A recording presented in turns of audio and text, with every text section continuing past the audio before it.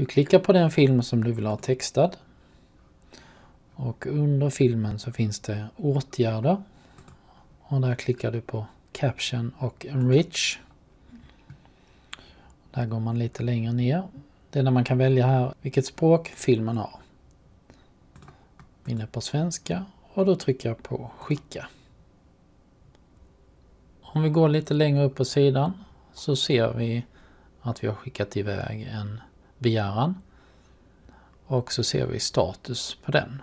Du måste inte ha den här sidan framme men om du har det så kommer den att visa när det är klart. Här ser jag nu att automattextningen är genomförd och då kan jag klicka på pennan för att titta och redigera texten.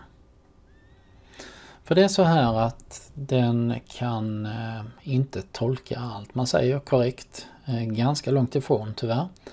Det beror väldigt mycket på ens egen dialekt. Det beror på eh, eventuella bakgrundsljud som finns i filmen så att det blir svårare att tolka.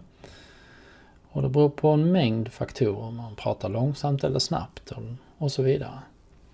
Så att man behöver i det här läget faktiskt gå igenom texten. Ett sätt att göra det på är att trycka på play.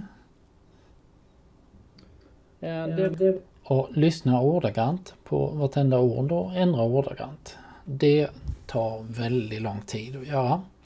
Så jag rekommenderar dig istället att ändra texten först till en fungerande svenska kan man säga. Ett fungerande läsligt språk. Och när du är osäker så kan du lyssna på vad det är du egentligen säger. Här är automattextningen. Det består av olika rader. Man kan scrolla ner för att titta på dessa. Scrolla upp och ner.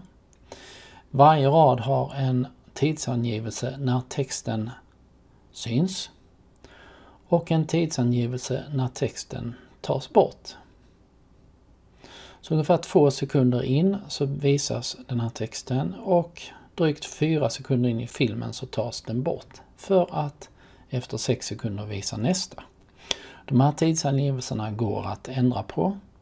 Det går att lägga till eh, fler rader mellan på det här sättet genom att klicka på plustecknet. Och det går att ändra i texten direkt bara genom att klicka i den. Jag ser till exempel att det ska vara trådlösa här. Trådlösa.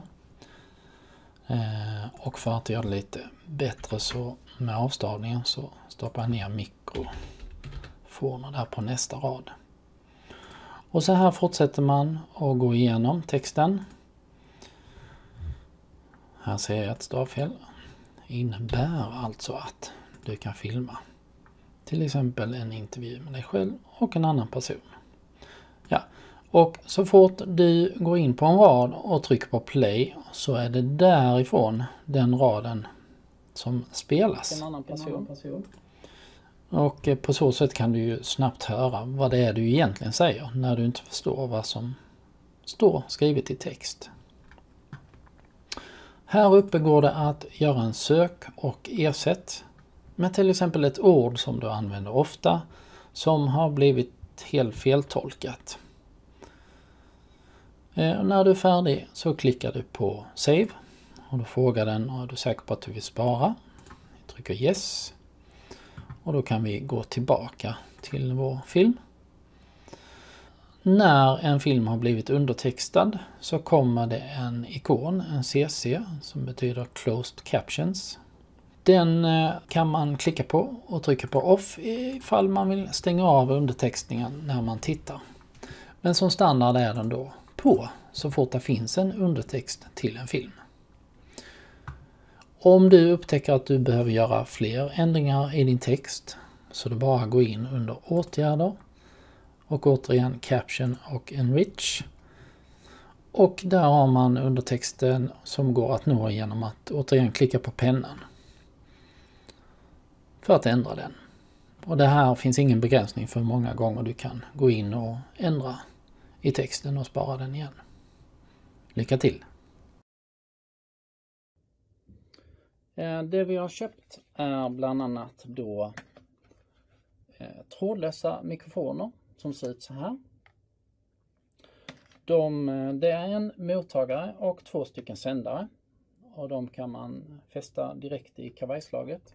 Det här innebär att du kan filma till exempel en intervju med dig själv och en annan.